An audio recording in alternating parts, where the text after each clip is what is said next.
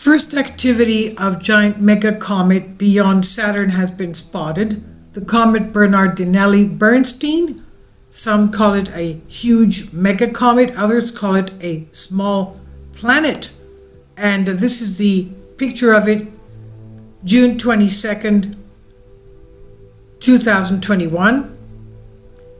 Comet C214 UN 271 Bernardinelli Bernstein from Las Cumbres Observatory.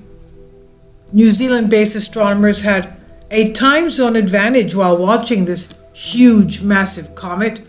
As we said, others call it a tiny, a smaller planet.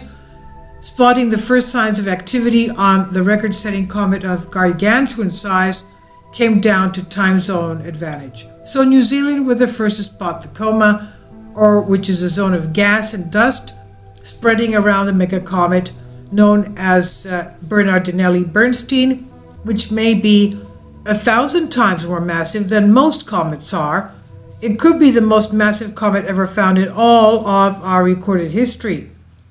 The team monitoring these images captured by Las Cumbres Observatory LCO spread around the world, world images from one of LCO's one meter telescope hosted at South African Astronomical Observatory, available June 23rd at midnight, and that happened to be afternoon in New Zealand. Kindly support my Patreon account since YouTube has again demonetized my YouTube channel. The daily posts are five videos daily, and they are totally different from what I have on my YouTube channel.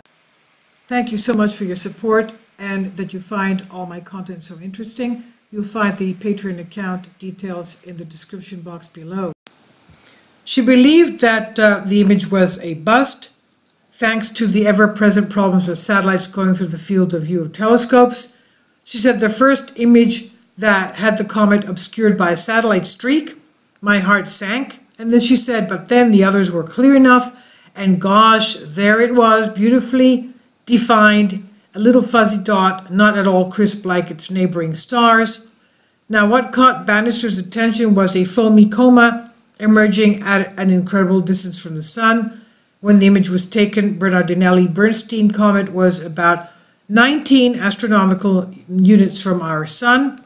As we know, one astronomical unit is the average Earth Sun distance, which is about 93 million miles or 150 million kilometers. It's roughly double the orbital distance of Saturn from the Sun. The solar energy at that juncture is a fraction of what we enjoy here on our Earth. So the comet has a lot of mass available to heat up. Bernardinelli Bernstein huge core, or its nucleus that is, estimated to be more than 62 miles in diameter, which is three times as large as the next known largest comet of Comet Hale-Bopp, the famous naked eye comet that passed Earth in 1998. Unfortunately for eager astronomers, though, this giant comet Bernardinelli Bernstein won't get very close to us for observations. Bernardinelli comet, Bernstein's closest approach to the Sun, will still be beyond Saturn by January 2031. Astronomers have a decade to plan for that approach, and if history is any guide, telescopes around the world in space, along with spacecraft that happen to be nearby that area, will peer at the comet to learn as much as possible about its composition and its history. LCO's Look project already observed several comets, and it will continue to watch Bernardinelli Bernstein as well.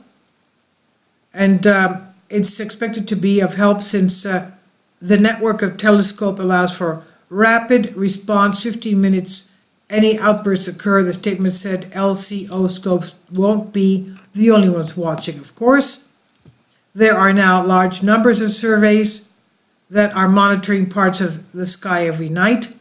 And these surveys can provide alerts if one of the comets changes brightness suddenly. Then we can trigger the robotic telescopes of LCO to get us more detailed information and a longer look at the changing comet while the survey moves to other areas of the sky. This is from space.com. And uh, okay, that's it. New Zealand was the first to see it, and a little bit of coma as well. Please leave your comments and thank you for your support.